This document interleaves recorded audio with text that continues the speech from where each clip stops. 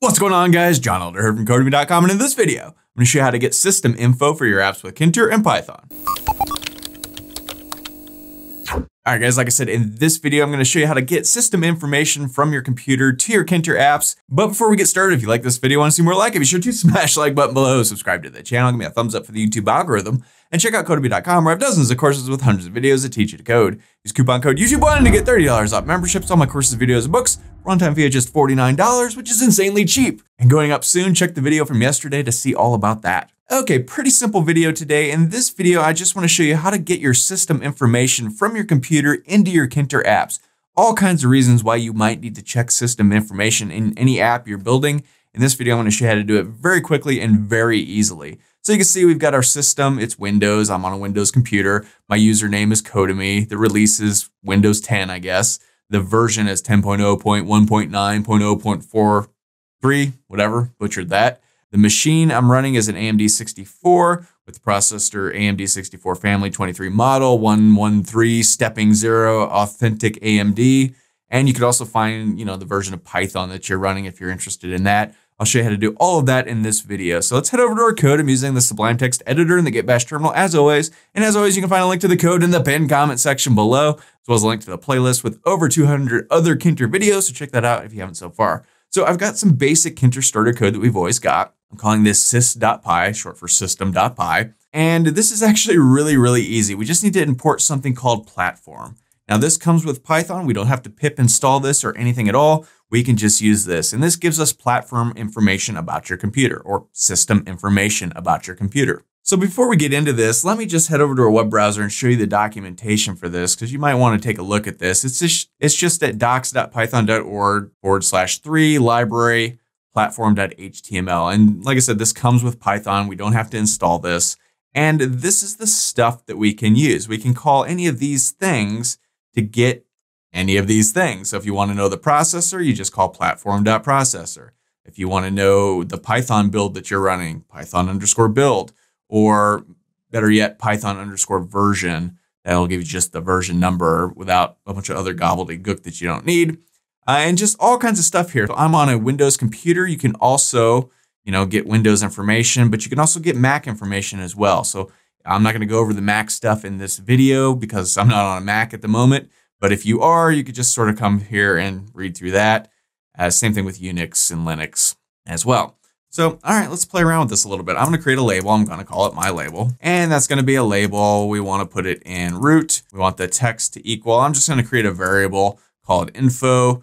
And let's make this font a little bit bigger as we usually do. So let's make this Helvetica and like I don't know, 14 or something like that to make it a little bit bigger. And that's my underscore label, dot pack this guy, give it a pad Y of 20, just push down screen a little bit.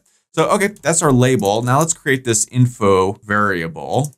And I'm gonna set it equal to this. And we're gonna have a lot of stuff here. So I'm gonna put this on multiple lines. It's gonna look sloppy, but yeah, we don't really care about the kinterness of this. This is more a Python thing anyway. So I'll just show you how to do this really quickly. So also let's make this an F string so that we can do other stuff inside of here. So first, let's find the system. And for the system, that's just going to be platform dot system, right? And this is a function. Now I'm to put these on multiple lines. So I'll use the backslash n, which stands for new line. And this other slash will allow us to do multiple lines in our program. You see we got these big ugly purple bars. Those will disappear in just a second. So next, let's get the username. And let me just come through here and we want the release. We want the version. We also want the machine type. We want the processor just for fun. And let's get the Python version as well. There we go. And username, that's just going to be platform dot. Let me just copy this because they're all going to be platform dot somethings, right? So actually, we also want a slash in and a slash. So let me copy all of this make this a little bit faster. Just bang in all of these here. There we go. No more big ugly purple bars. So here, this is going to be platform.node. And, you know, this is a username. So what is the node? Well, that's just what the system calls the logged in username on a Windows computer. That's the node, right? So platform.node, and these are all functions. So next one is release. So that's just platform.release, also a function. And platform.version, also a function. Platform dot, you'll never guess, machine, yes. And here, this is platform.processor. And finally, platform.python underscore version. And that's it. That's all there is to this. So we've created a variable. We've put all this stuff in them, put each one on its own line. Then we're just going to take this info variable and slap it into this label as we've done thousands of times in this playlist. Go ahead and save this. Let's head back over to our terminal and let's run python sys.py. And when we do, boom, we get system windows, username Codemy, release 10, version 10.0 point whatever. The machine, I'm using an AMD 64 processor. The actual processor is AMD 64 Family 23 Model 113 Stepping Zero Authentic AMD. I don't know, I built this computer years ago. I don't even remember. I remember I definitely used an AMD processor, but I don't know what the rest of the stuff is. Doesn't really matter. And the Python version that we're using is 3.9.5. I know there's a Python 3.10 out now. I haven't updated yet. I usually wait a little while to update those types of things. I did a video on updating versions for Django last week. If you want to watch that to learn my philosophy on updating to the newest, latest, greatest version of things, you can watch that video. I have very specific uh, ideas about that. I always wait a little bit till the next version gets the kinks worked out of it. But anyway, that's besides the point.